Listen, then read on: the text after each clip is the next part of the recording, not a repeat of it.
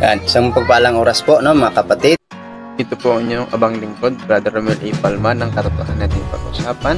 At uh, ngayon mga kapatid, masusubaybayan nyo na at matutunghian nyo na ang ating pong programa.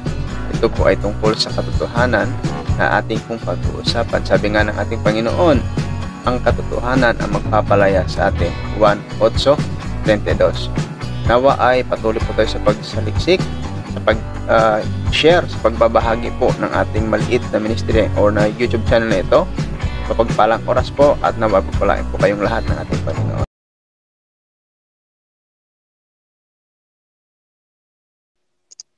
Okay, isang mapagpalang oras po, no? Mga kapatid ko kay Kristo. At ito po ang inyong abang lingkod, Brother Romel Palma ng katotohanan ay ating pag-usapan. At ngayon po mga kapatid, sa ating video ngayon ay atin pong bibigyan pansin o kukomentaryuhan po natin in Tagalog yung uh, na, nakaraang uh, discussion po dito sa bahay na nasa Hiligay nun po. Kayo po mga kapatid ay bago pa lamang po sa ating YouTube channel.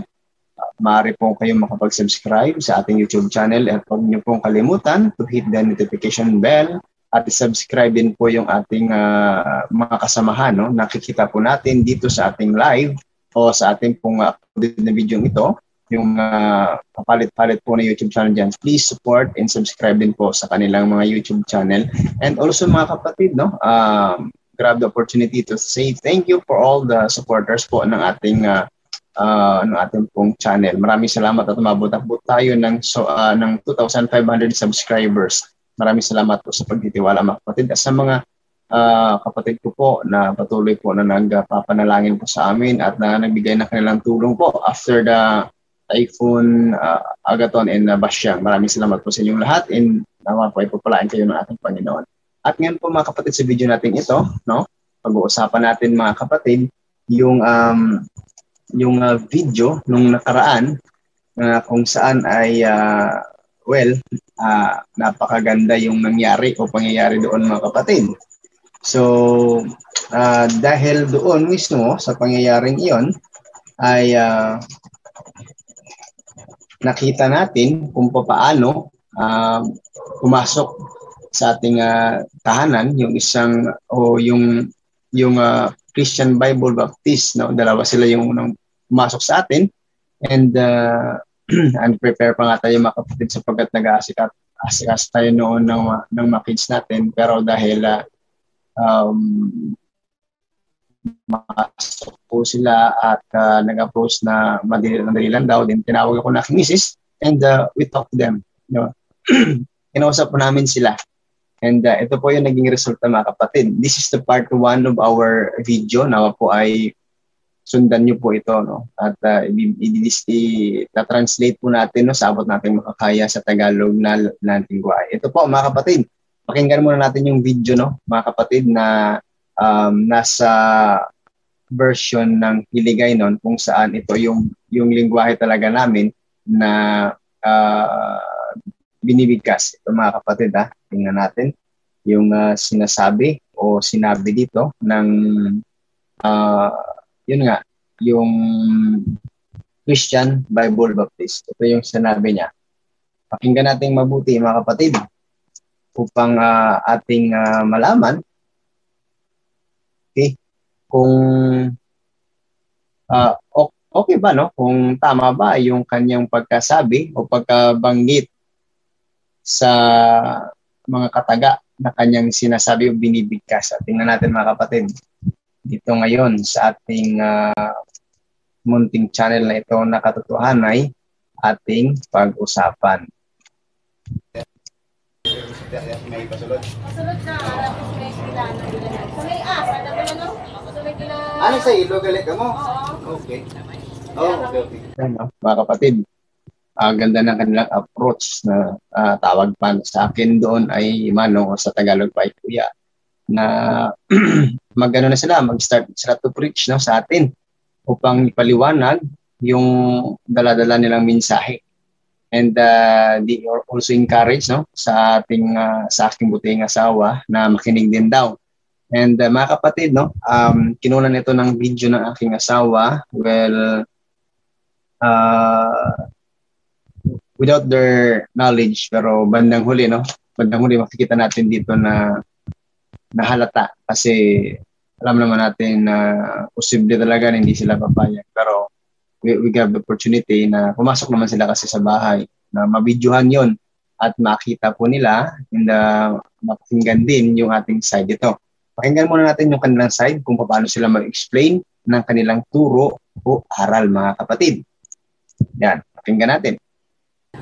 Palima nung ang wala kami nagkalindi bangon sa reliyon kay kabanong utak sa teksta sa reliyon ang kabanong na gina-respeto gina lang po siya. Ako lang dito yung sinyo ano kasi sa sa pulong sa Ginoo. Magasakan nga ano bala kal kanong ang kaluwasan naton na masiguraduhan sa kay nga once mabot ito kamatayon di na yan bala sa makadulong. No? Kasi mo manang makapamati ka dira. Oo ah. Pangalan tama no?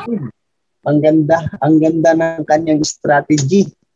Yung strategy niya ay open kanya sa reality that uh, all human being will die, no? Alam natin yung birthday natin, pero hindi natin alam yung ating date of uh, death, no? Natin. So, yeah, naalala ko tuloy na meron kaming mission noon, house to house evangelization. Then, uh, yung mentor namin, itinuruan kami na i-discuss yung five things we need to do before we die. So yan din yung introduction namin. Kaya nakaka-relate ako sa kanya mga kapatid. So napakaganda yun yung introduction niya na paparealize sa tao na ang tao ay may kamatayan. In reality yan, mga kapatid. No? Tingnan pa natin. Romel. Romel Palma.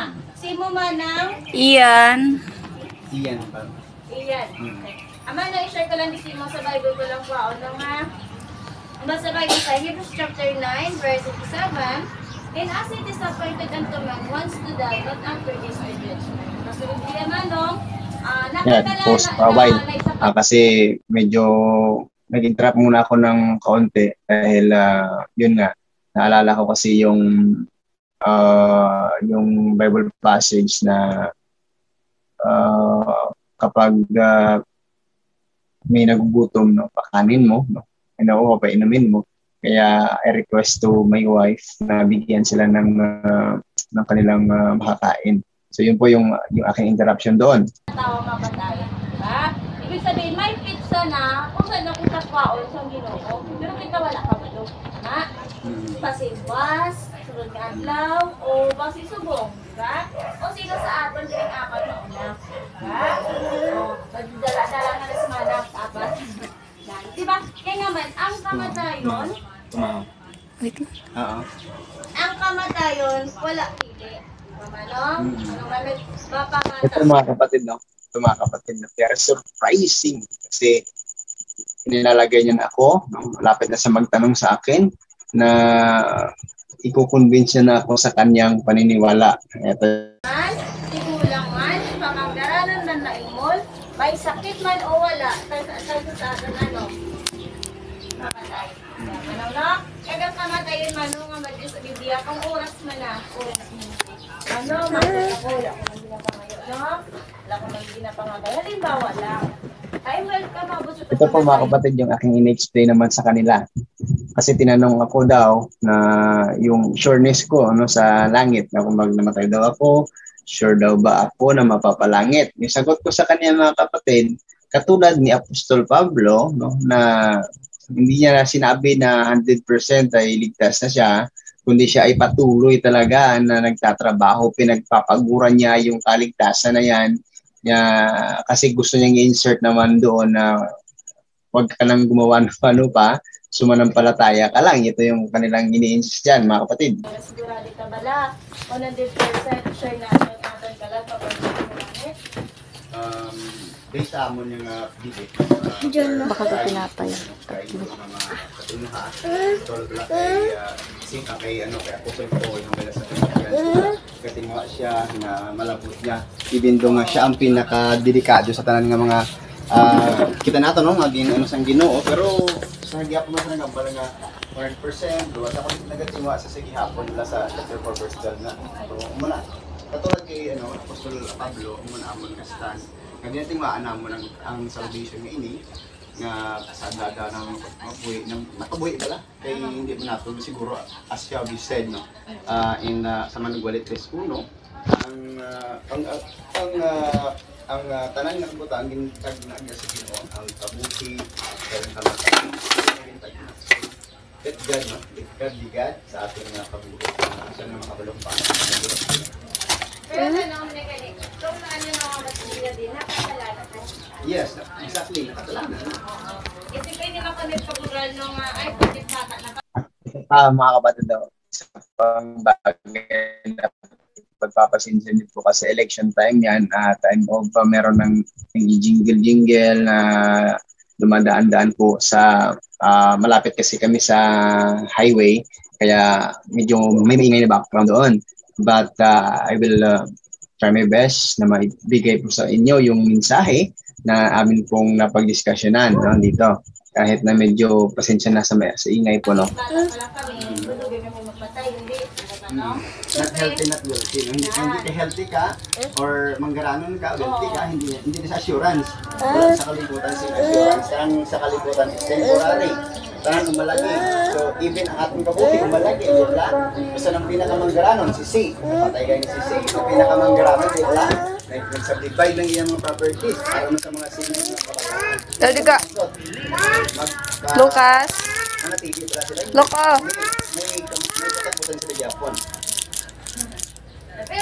Pero sa Biblia, no, madre, kung oras mo na gidya, oras mo na gidya. Yes, tama. Pero pagkatapos sa kung ano, ka isang kapat mapatay, may pagbuko. Yan, mga kapatid. Sa narinig niyo yun, no? Klarong-klaro mga kapatid, yung sinabi niya, no, na ah, gusto niya ip- ipalitaw talaga that wala pong purgatorio. Yun yung point na gusto niyang ipalitaw. Pero hindi ko siya dinirect na word na purgatory. Yung aking in-explain sa kanya, yes, I believe in purgat in in in, in hell, no, sa impyerno, that is in a final in the final judgment no? Sa final judgment ay talagang totoo at tunay yung purgatory yung yung impyerno I mean. But sa wala pa o sa hindi pa dumating yung ah, final judgment so maliban sa impyerno at sa langit sa langit sa langit I mean ay meron pang isang state na kung saan pupuntahan ayan pakinggan mo yung pakinggan niyo mga kapatid yung yung ah, aking inugtong sa kanya lang ka lugar.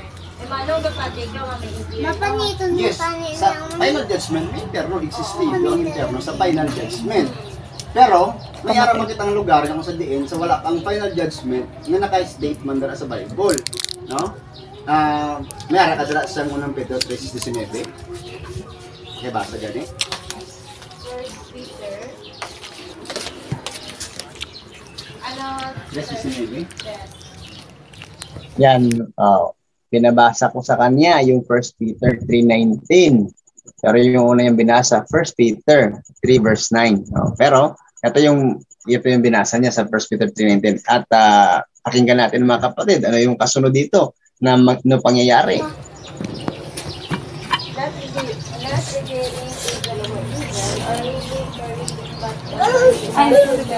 1 Peter chapter 3 verse 19 na ginabasa. Yes, Ay, habi ko na yun. 3.19. By which also ye ran Yes, ah. Yes. Yeah, ako. Amo na siya. Oh. Ano yung Ano, ano, ano, King place? version? Yan na po, no? Nag-start na ako magtanong sa kanya. Ah, confusing, no? Ah, na saan ba yan? Yung 1 Peter 3.19, saang lugar yan? Yung pinuntahan ni Kristo. Magugulat kayo mga kapatid sa kanyang sagot. At uh, magugulat kayo pag na-confirm na natin sa kanya kung tat kung yung sagot ba niyang una ay talagang ah, she will stand firm in ah, her statement or magbabago ito. Okay, ah, ah, yes, yes, I have the question regarding that verse.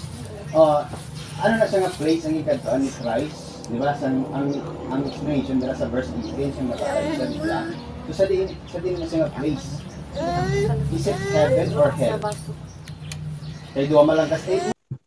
Yan, mga kapatid, no? Sabi niya, yung 1 Peter 3.19, that is in heaven. Sa langit daw yun. Yan, sabi niya sa langit yun, ha? Sa langit. 1 Peter 3.19. Yung nakalagay kasi doon ay yung mga pinuntahan ni Kristo, yung mga espiritong nakabilanggo sa langit daw yon. Ngayon, pa, mga kapatid, pakinggan niyo yung aking ah, yung aking dinagdag sa kanya to explain sa verse na yon, then pakinggan niyo rin sa sa ah, ulit na pagtanong natin sa kanya kung ano yung kanyang sasagutin. Wala, napatay ko sa mo, santahan mo na. Or heaven, wala ko na kung hell. Ah, nagsato siya sa heaven during that time sa 1 Peter chapter 17. In pre, ang sa, ang sa heaven mga Tingnan niyo mga kapatid ha, na, noong tinanong ko ulit. Um, ano siya, parang na-stack up. stack up siya. Then, ika-third time, no, ulitin ko ulit yung tanong. Tingnan natin kung sasagutin ba niya talaga na heaven pa rin yon. Eto mga kapatid, maganda itong ah, pakinggan. impression na sila. Ang sa... Just, just asking nga, hindi ka, hindi ka mag-report niya. Just asking. Ah, ang 1 Peter 3.19, ang mga Pansinin niyo, may dumaan no, na mga kasamahan niya. Ah, bago natin na pakinggan yung kanyang sagot. I am expecting also na sana no, sana pumasok sila ah, para mas marami yung um, aming mai-discuss, madiskussan.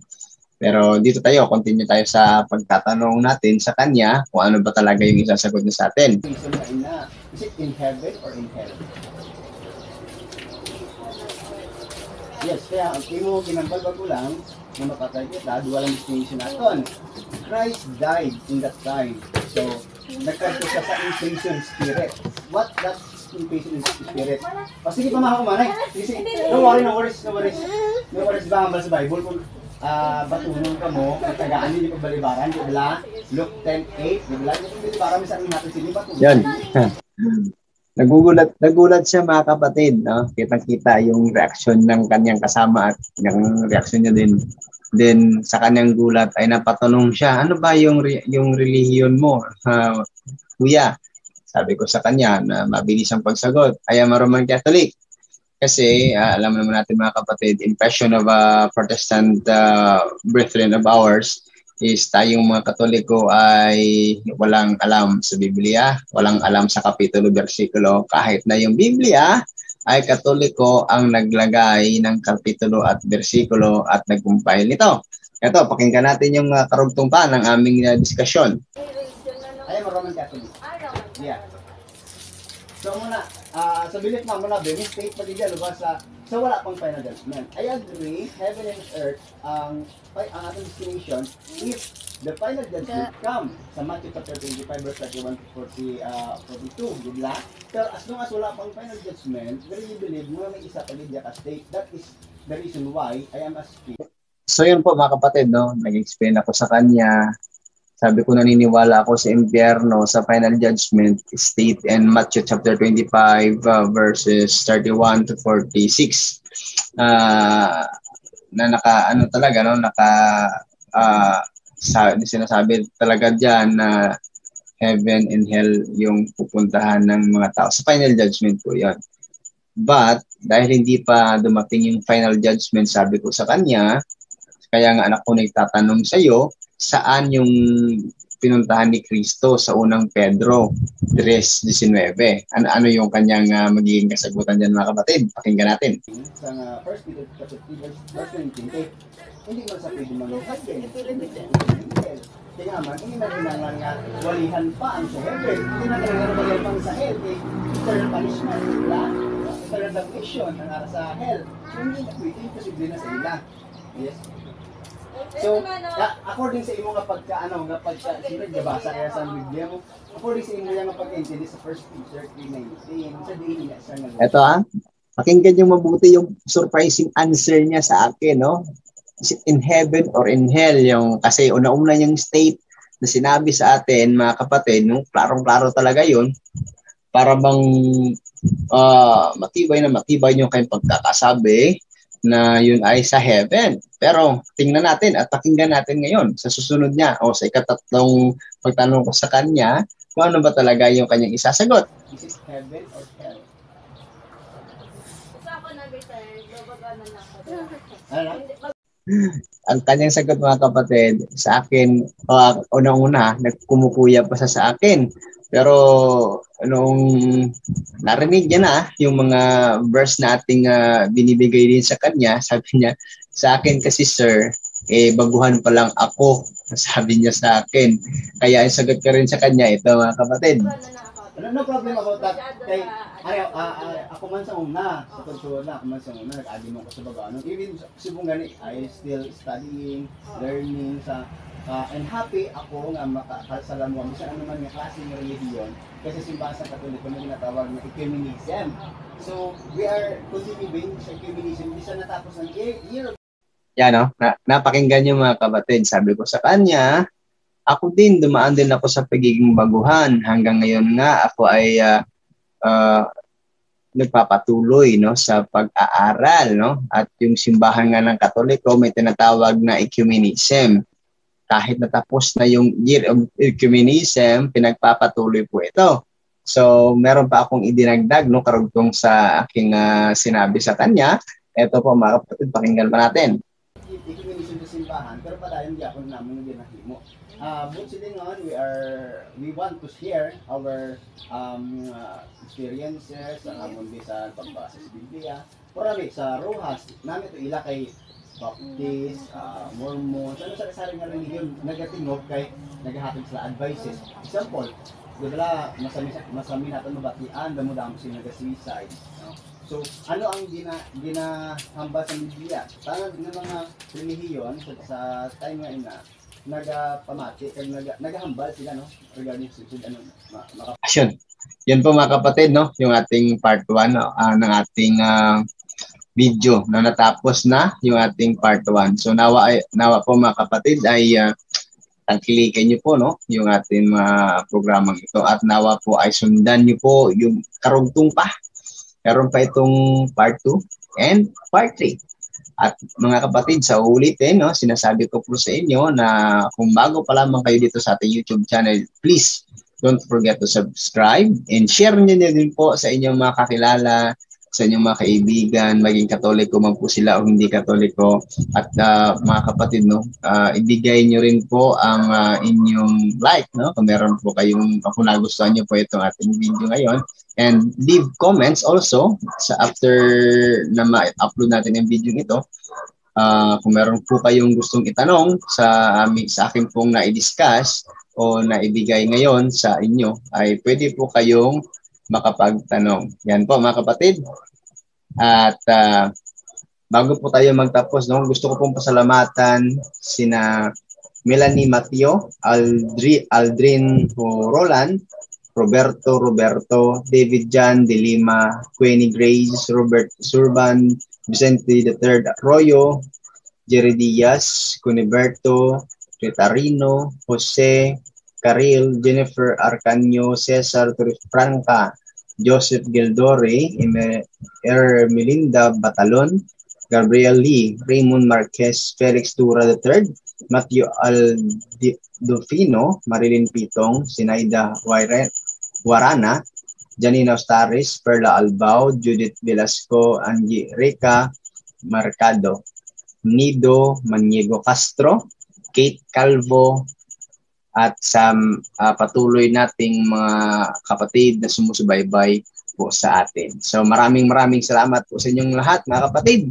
Muli, ito po ang inyong abang lingkod, Brother Romel A. Palma ng katotohanan natin usapan. Pagpalain po tayo ng ating Panginoon.